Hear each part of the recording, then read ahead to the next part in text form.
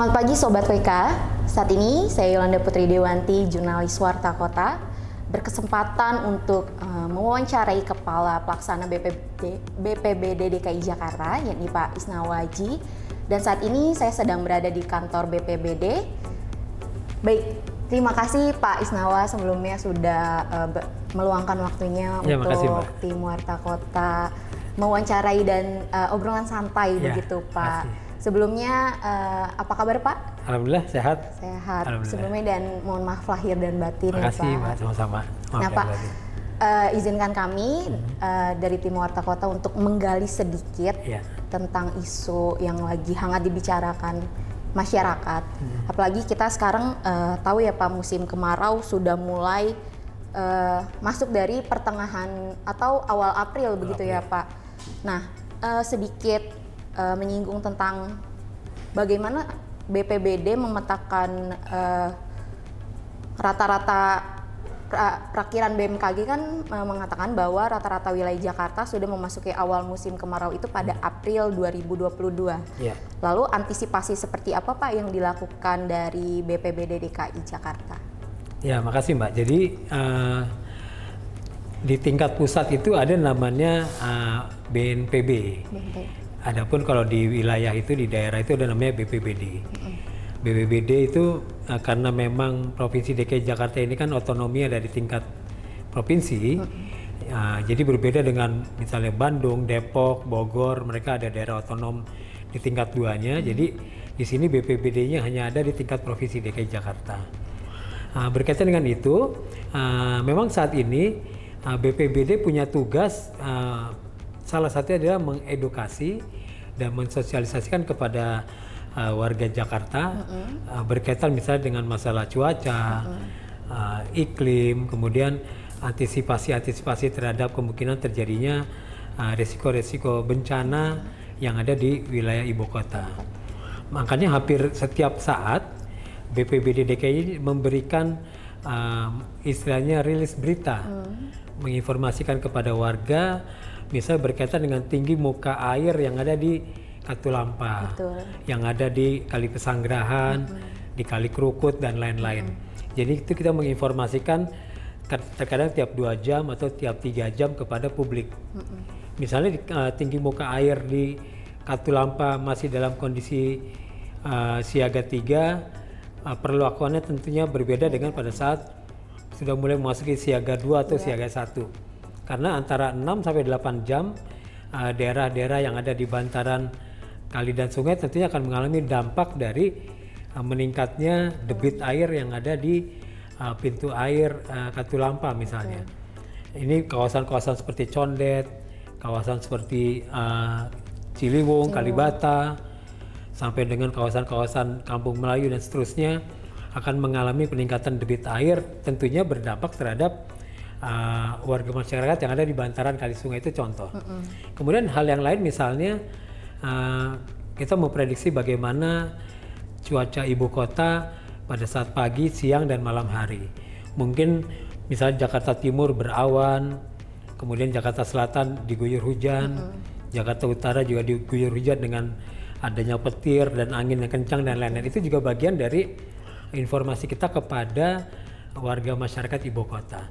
Nah terakhir apa yang disampaikan oleh Mbak Yolanda tadi uh, terkait dengan kita ini mengalami yang namanya uh, global warming ya, peningkatan suhu udara secara global yang mungkin kalau kita pelajari berdampak dari misalnya uh, masalah uh, bagaimana kondisi uh, cuaca di kutub utara dan selatan. Betul bagaimana pemanasan global yang dilakukan oleh warga bumi mm-hmm. berkaitan dengan penggunaan ozon dan lain-lain, penggunaan kendaraan. Mm-hmm. Tentunya uh, kita semua mengalami cuaca ekstrim.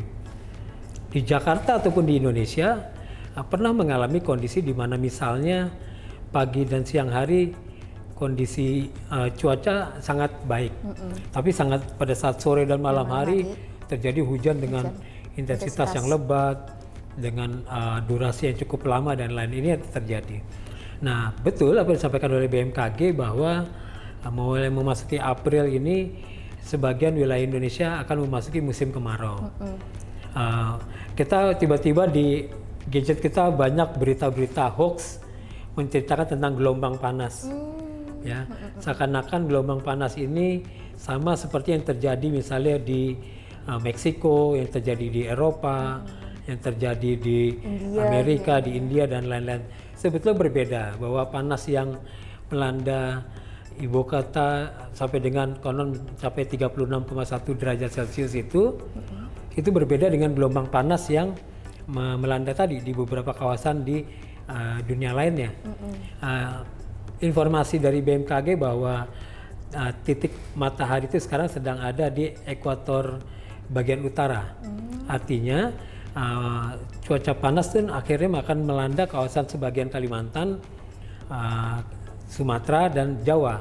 Adapun untuk Jakarta mulai memasuki di antara April, akhir Mei dan Juni. Juni. Nah pada bulan uh, sekitar Desember 2019 misalnya, mm -hmm. uh, DKI Jakarta pernah, pernah mengalami masa uh, krisis air di kekeringan, beberapa kawasan. Bisa dikatakan kekeringan. Lagi. Itu melanda ada di 15 kecamatan mm -hmm. yang ada di DKI Jakarta, mm -hmm. dan saat itu memang uh, warga mengeluhkan keterbatasan pasokan air bersih mm. yang ada di masyarakat uh, mereka komplain terhadap PAM, Palija, mm-hmm. bahwa pasokan air bersihnya tersendat bahkan mati sama sekali. Mm.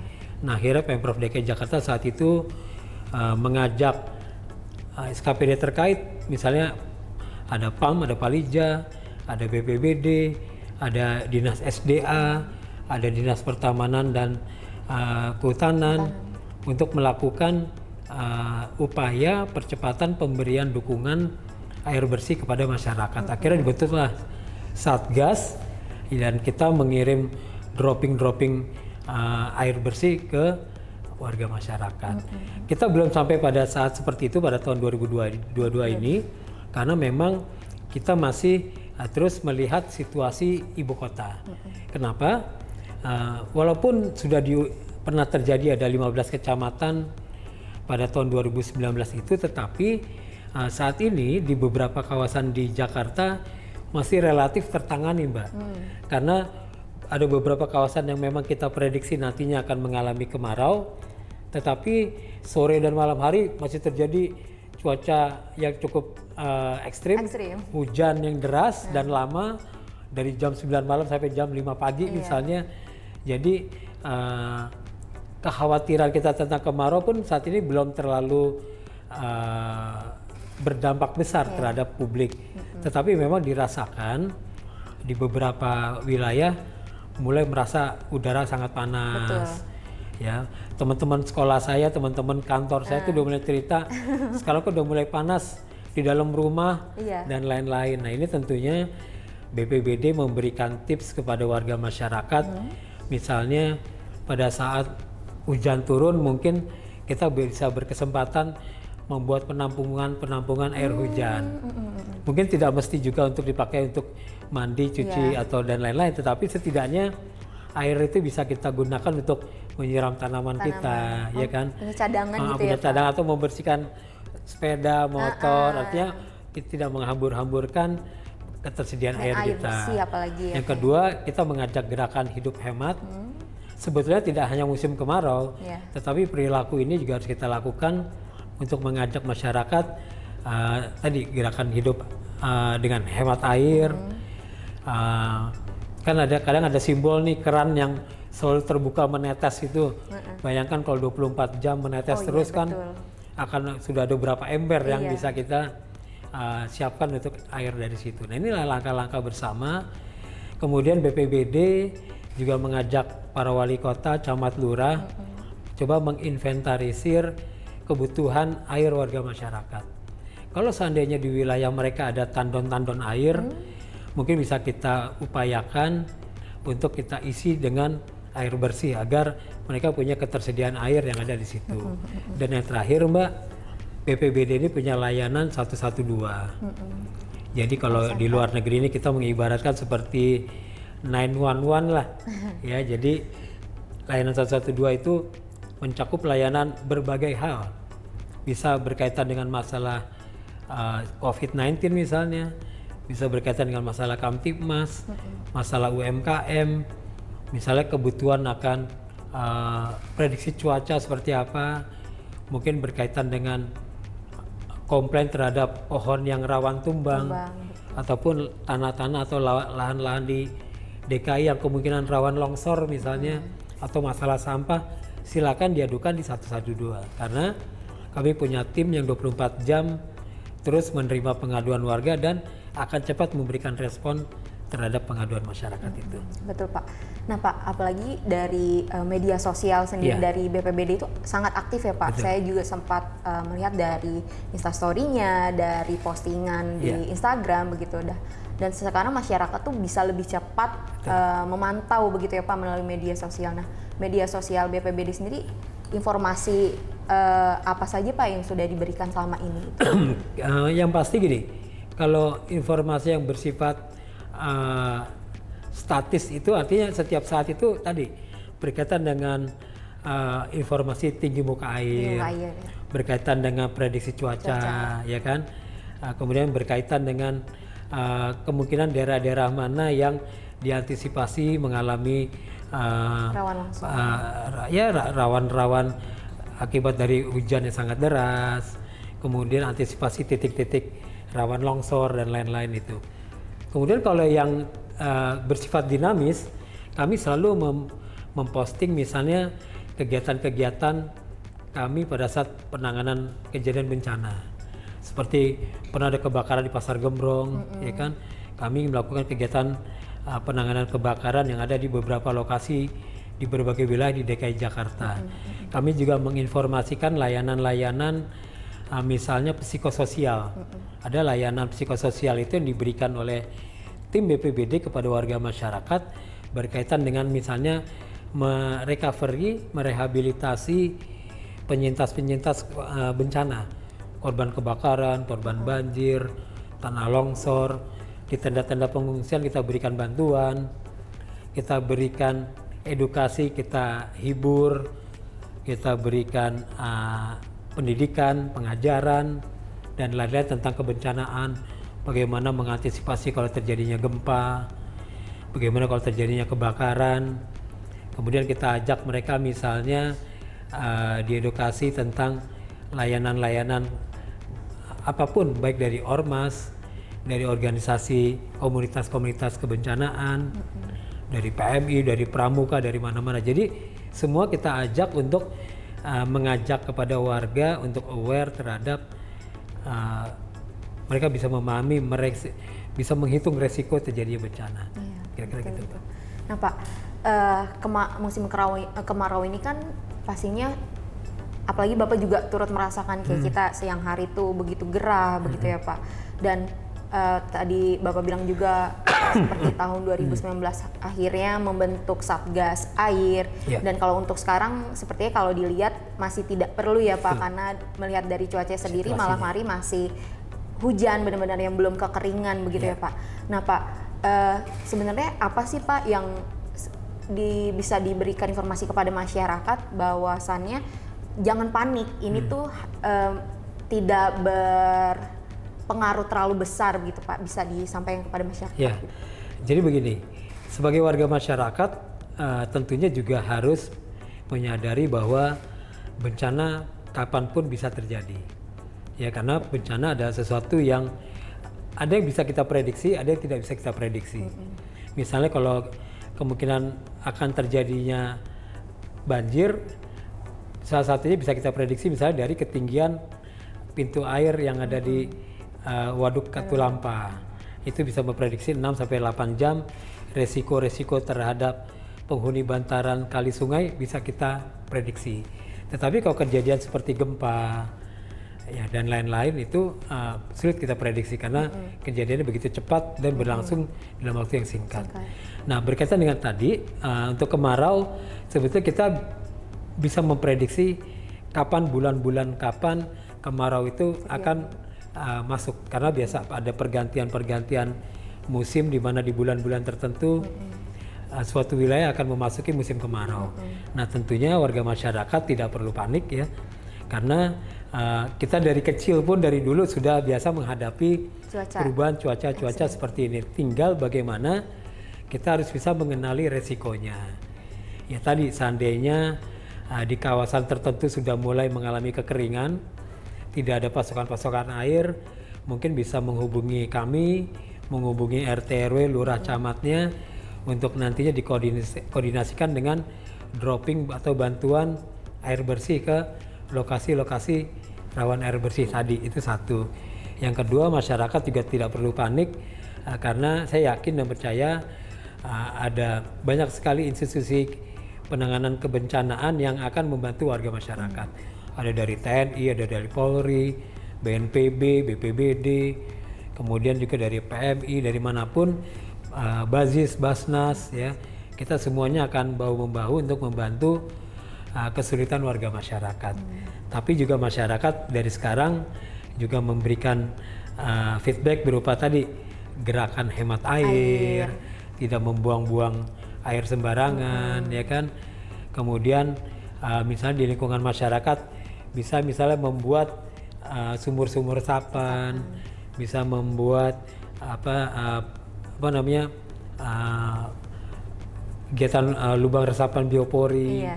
Jadi semuanya itu adalah bagian dari upaya kita untuk bisa menjaga kelestarian lingkungan. Gitu. Hmm. Oke, jadi masyarakat eh, nggak uh, perlu panik, yeah. bahkan kalau bisa jangan menunggu.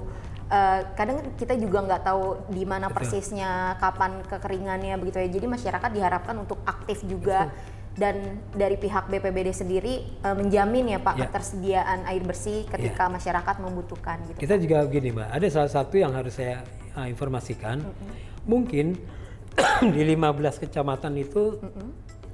pernah mengalami kekeringan di 2019. Mm -hmm. Tetapi dari 2019 sampai dengan 2022 ini PAM maupun Palija sudah banyak melakukan kegiatan program-program perbaikan instalasi. instalasi. Itu satu. Yang kedua, mereka banyak menambah jaringan-jaringan perpipaan di kawasan-kawasan kecamatan tadi yang kita prediksi mungkin hmm. mengalami kekeringan. kekeringan. Dan sudah saya konfirmasikan dengan pihak PAM dan Palija, uh, tentunya layanan mereka juga sudah semakin membaik hmm. antara kurun 2019 sampai dengan 2022 ini. Jadi insya Allah semoga kemarau yang nanti akan terjadi sudah diantisipasi oleh pihak PAM dan Palija dengan menambah layanan-layanan uh, ketersediaan air bersih tadi. siap Pak. Ya. Jadi uh, masyarakat uh, tak perlu khawatir ataupun ya. panik ya Pak. Nah Pak, sekarang uh, saya geser ke isu uh, penanganan COVID-19 hmm. gitu ya Pak. Dan uh, kita bersyukur seperti kemarin akhirnya pemerintah juga mengizinkan untuk uh, mudik hmm. lebaran ya Pak karena hampir menahan rindu kepada kampung ha, halaman, halaman itu uh, hampir dua tahun lebih begitu ya Pak. Yeah. Dan uh, kita lihat juga sekarang uh, jumlah bor di DKI Jakarta tuh turun yeah. uh, signifikan begitu Pak. Dan terakhir bor di DKI Jakarta dari 140 rumah sakit juga hmm. uh, ada di angka 3%. Nah, untuk dari uh, BPBD DKI sendiri bagaimana Pak untuk penanganan Covid sekarang yang sudah jauh lebih baik begitu Pak? Ya, yang pasti tugas BPBD dan atau secara umum Satgas COVID-19 DKI Jakarta sudah semakin ringan. Ya karena kita mengalami uh, uh, pelandaian yang sangat signifikan sekali. Kami biasanya memantau isolasi-isolasi uh, terkendali di seluruh wilayah dan banyak yang mereka yang melaporkan bahwa karena pasien sudah semakin menurun, tidak ada lagi yang dirawat, akhirnya mereka memfungsikan kembali isoter-isoter itu dengan kegiatan mereka seperti semula. Hmm. Misalnya ada rumah sakit Adiaksa berfungsi lagi sebagai rumah sakit umum. Hmm. Kemudian ada tempat penginapan yang tadinya tertutup untuk publik karena memang tidak ada pasien COVID bisa difungsikan lagi untuk penginapan dan lain-lain. Hmm. Nah, uh, dengan semakin membaik, uh, di mana level ppkm-nya juga semakin turun. Hmm. Nah, kami BPBD dengan BNPB ada program-program bersama yang kami terus lakukan walaupun juga kasusnya sudah menurun, kami ingatkan kepada warga masyarakat bahwa uh, protokol kesehatan tetap harus dijaga. Hmm. Salah satu kita membagikan 93.000 masker di berbagai wilayah di DKI Jakarta bersama dengan BNPB. Hmm. Jadi ini keterpaduan antara BPBD dan BNPB di mana di dalamnya ada TNI, ada Polri, ada pemerintah daerah, ada Basarnas dan lain-lain kita membagikan 93.000 masker di seluruh lokasi di DKI Jakarta. Salah satunya misalnya pada saat uh, pelaksanaan sholat terawih di Istiqlal, di beberapa masjid-masjid kita membagikan juga kepada masyarakat. Kemudian berikutnya pada saat arus mudik dan arus balik kami juga diikutsertakan bersama tim penegakan uh, protokol kesehatan kami tempatkan personil kita di terminal-terminal, hmm. di stasiun-stasiun kereta dan lain-lain. Tetap mengingatkan kepada warga masyarakat yang ingin pulang mudik saat itu hmm. Untuk tetap menggunakan masker. masker. Karena kan masker tidak hanya untuk melindungi diri kita dari uh, virus, tetapi juga pada saat berkendara motor kan dari debu, ya, ya kan dari mungkin lalat ataupun uh, hewan-hewan uh, lain atau apa yang kemungkinan bisa uh, berdampak terhadap kesehatan kita terutama pada saat pengendara roda dua menggunakan motor ke daerah itu kan harus menggunakan Betul, masker iya. karena untuk menjaga dari uh, polusi-polusi uh, ataupun debu-debu yang berterbangan di sepanjang perjalanan mereka pulang ya. Hmm. Jadi itu yang kita lakukan juga kepada masyarakat. Kemudian uh, yang hal yang lain juga ya kita tetap mem, gini. Salah satu tugas BPBD adalah memonitor setiap event-event kegiatan yang ada di DKI Jakarta.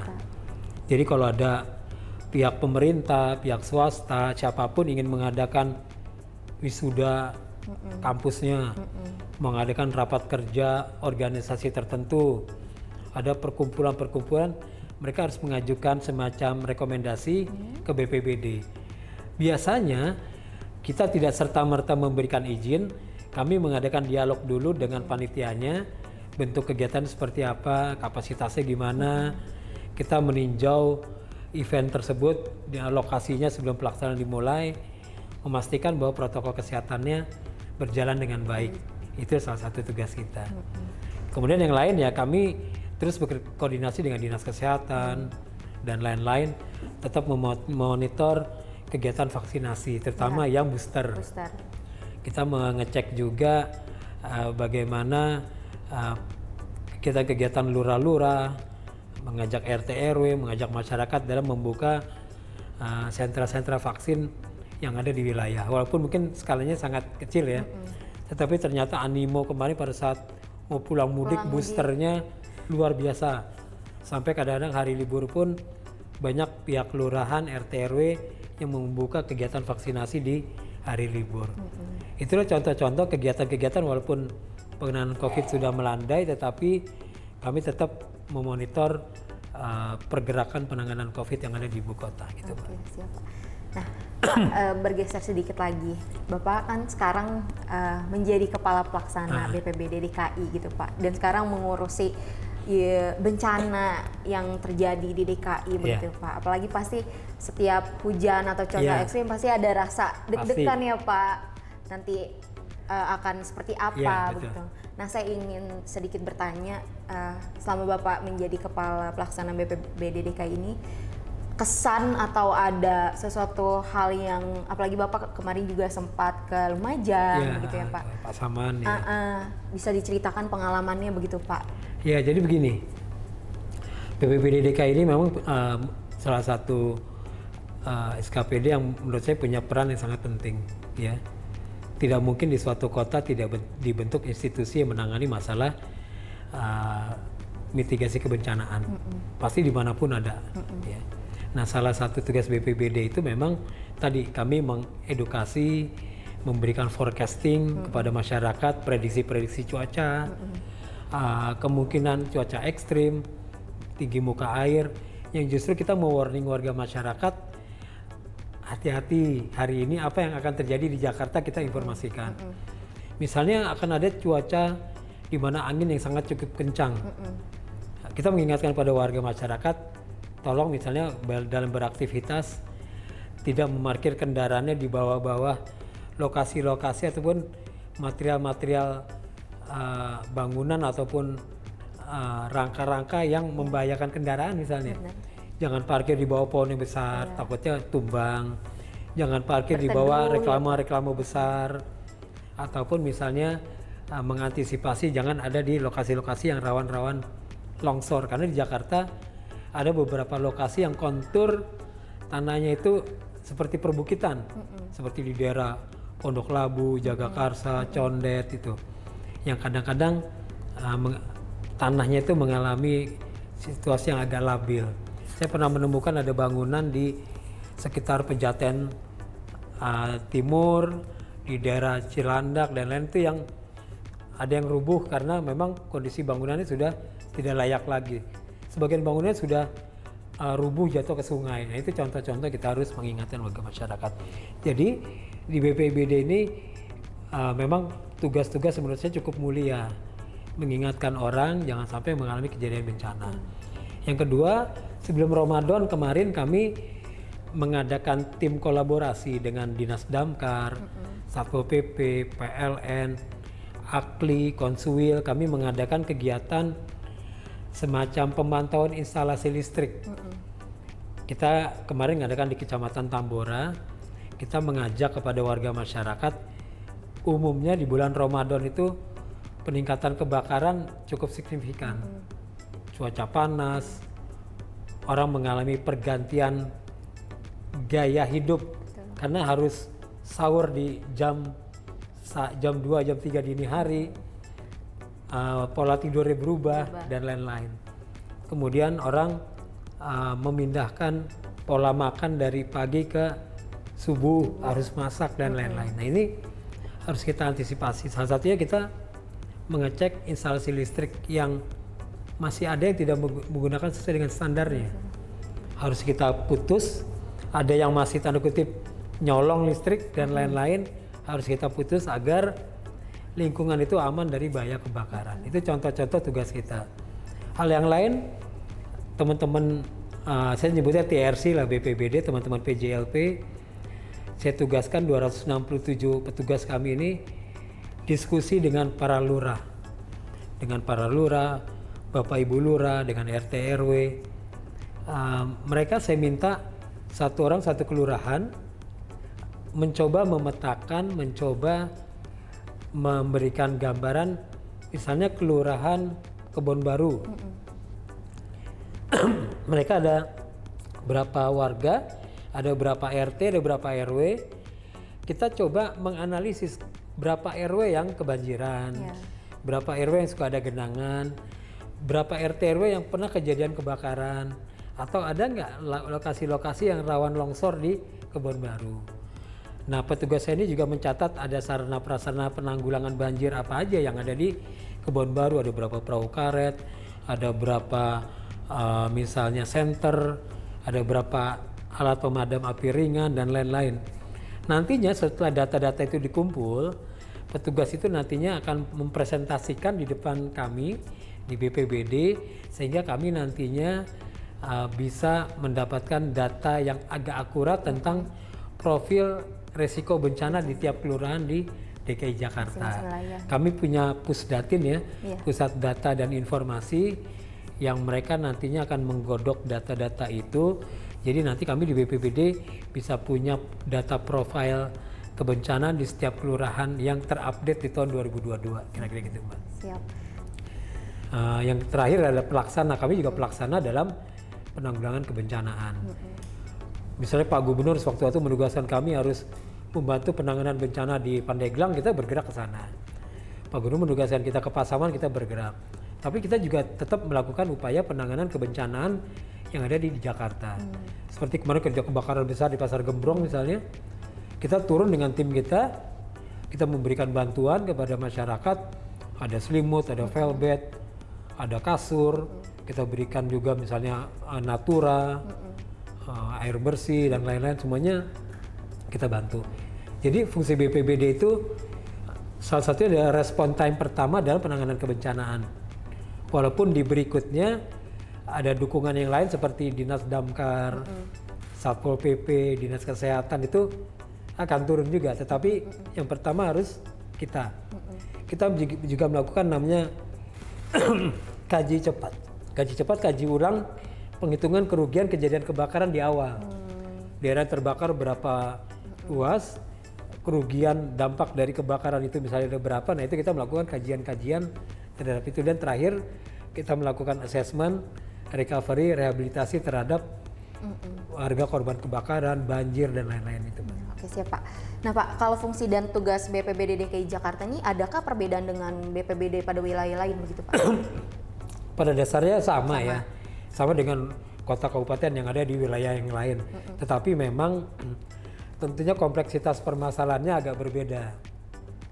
Mungkin kalau di daerah-daerah, mohon maaf frekuensi kebencanannya juga uh, bisa dibilang lebih banyak mereka atau lebih sedikit mereka karena relatif ya. Iya. Tetapi Jakarta dengan dengan kompleksitas permasalahannya juga cukup tinggi.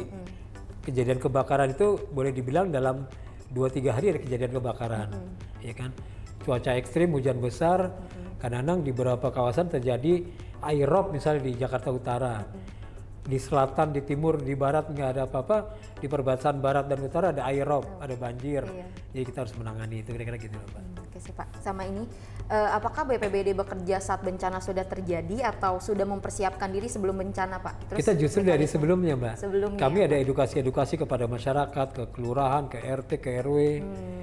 Jadi kami mengajarkan dulu edukasi-edukasi antisipasi bencana. Jadi kalaupun adanya bencana ya kita turun saat bencana sampai dengan pasca terjadinya Pasca. bencana. Jadi sebelum Saat dan saat sesudahnya. sesudah. Oke. Nah, Pak Isnawa, rasanya eh, senang sekali bisa eh, ngobrol santai begitu dengan Bapak mengenai isu-isu yang lagi hangat dibicarakan masyarakat, apalagi Ya. masyarakat ini eh, gampang mudah termakan berita Hmm, hoax ya Pak terkait yang tadi Bapak bilang gitu kan eh, masalah global warming gitu. Hmm. Nah, eh, sebelumnya saya ingin mengucapkan terima kasih Pak akhirnya Kasih. sudah ada di penghujung acara ini gitu Ya, Pak. thank you, Pak. Eh, Bapak telah meluangkan waktunya untuk berbagi cerita mengenai tips anti- antisipasi kepada masyarakat mengenai eh, musim kemarau ini bagaimana cara menghadapinya, terus cara menghemat air begitu Ya. ya Pak. Dan eh, kami dari tim Warta Kota ingin mengucapkan terima kasih. Makasih dan sama-sama, Mbak. Terima kasih Pak Isnawa. Ya.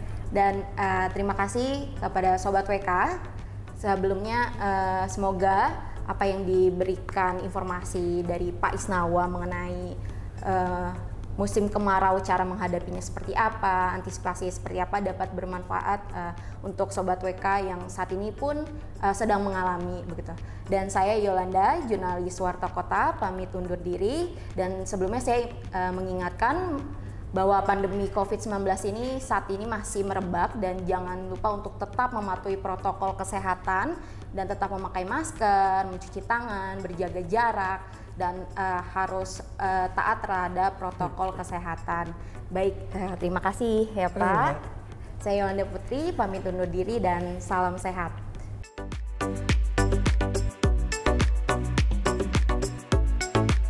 Jangan lupa subscribe ya.